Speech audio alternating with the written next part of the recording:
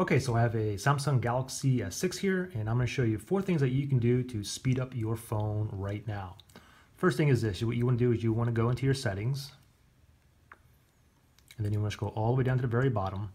And what, we want to do here is basically we, we want to enable the developer options. You're not going to have this on your phone right now, so what you want to do to enable it is go into About Devices, and then you want to scroll down and you want to look for build number you basically want to tap this like seven times until in the bottom it says developer mode has been turned on okay like right here.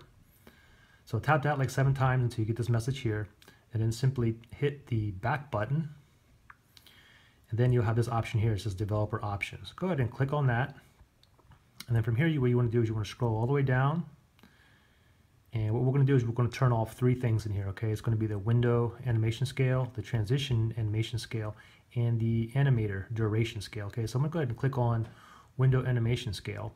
What we want to do to all these, basically, we want, we want to turn the animation off, okay? Let me give you a quick example, okay? So if I, for example, if, if I had this animation scale at 10x, let me show you how slow this is, okay? So when I click on this, it's going to slowly open up just like that, okay? Now if I turn animation off, and now I click on it, it's going to pop up right away. Okay, so turn that off. And you can see animation is off. Now I'm going to go down here, transition animation scale. I'm going to tap on animation is off.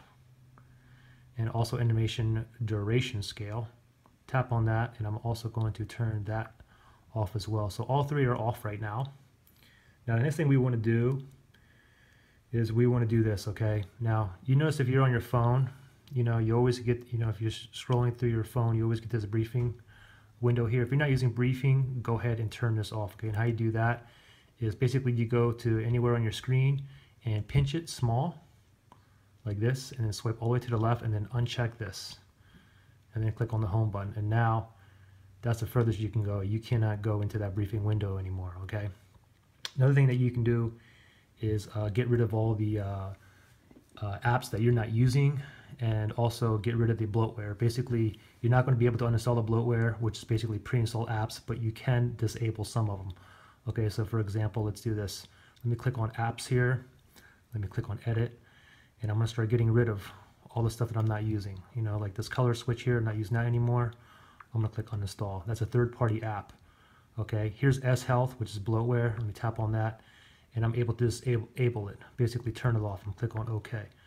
So keep going through all the ones, all the apps that you're not using, you basically turn it off or uninstall it, okay? Now the last option is this. What we're gonna do is we're gonna go into settings again. And now from here, what we're gonna do is we're gonna scroll down and we're gonna look for accounts. Tap on accounts, and then uh, you'll see Google here, okay? If you have some Gmail accounts, click on Google, and this will show all of your Gmail accounts on here, okay? And what you wanna do simply is go through each and go through each of these, like tap on it, and then you basically want to uh, turn off whatever you're not using. For this email address, like I'm not using sync data, I'm not using calendar, I'm not using contacts, I'm not using drive. I'm not using any of these except for the uh, sync Gmail. Basically, I just want to be able to get my uh, my email. Okay, so I'm uncheck all these, just like that and this will actually increase your phone because using um, when your phone is searching data it is going to take more processor memory as well as going to drain your battery faster too okay? So this will save battery processor and free up some of your uh, memory as well. And that's pretty much it. Right from here you should be able to notice a notice that your phone is slightly faster and that's pretty much it. Any questions or anything just comment below. All right thanks guys. Bye